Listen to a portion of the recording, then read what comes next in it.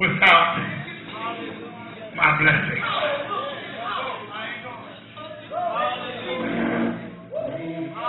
And the only way you can get to that point and make that kind of decision is that you're really tired of being where you are.